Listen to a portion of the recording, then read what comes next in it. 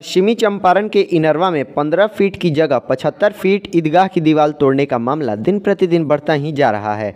आज इसको लेकर मुस्लिम समुदाय के एक प्रतिनिधिमंडल ने पश्चिमी चंपारण जिलाधिकारी कुंदन कुमार से मुलाकात कर ज्ञापन सौंपा।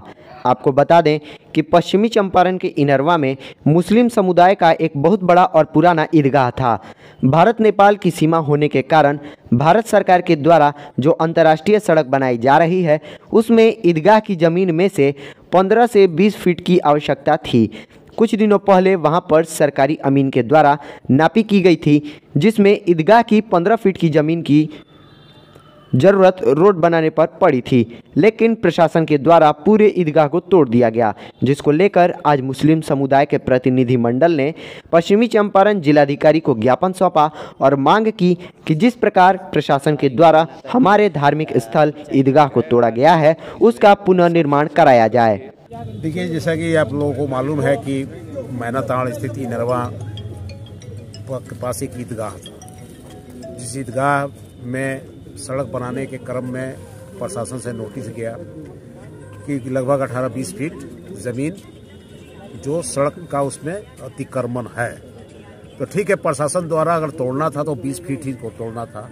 लेकिन उन्होंने लगभग 70 से लेकर 100 फीट तक दोनों साइड का तोड़कर उसके अगल बगल जो गरीब बसे हुए थे, उनका घर उजाड़ कर एक तरह से प्रशासन ने द्वेष की भावना से प्रेरित होकर खास एक समुदाय को पीड़ित करने के लिए और हो सकता है किसी बड़े आदमी के इसमें बहुत बड़ा हाथ हो कि हाँ सांप्रदायिक दंगा भड़के, लेकिन हम लोग शांति प्रिय आदमी हैं।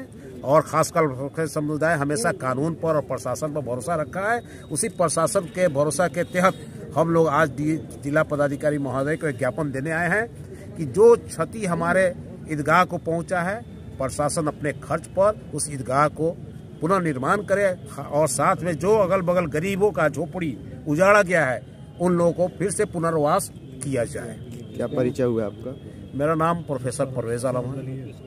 और चूँकि हम लोग तो सभी पार्टी से जुड़े हुए लेकिन पार्टी कोई महत्व नहीं है।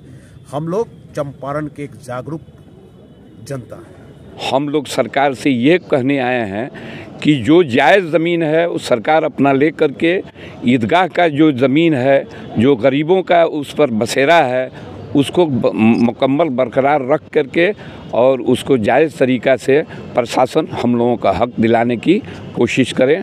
ईदगाह की क्षति पहुँची है, वो सरासर नाजायज़ हुई है। सेवन डिसमिल ज़ीरो सेवन लेना था, यानी कि चौदह फीट ही था, यानी कि बीस फीट तक प्रभारी को कहना था कि चाहिए।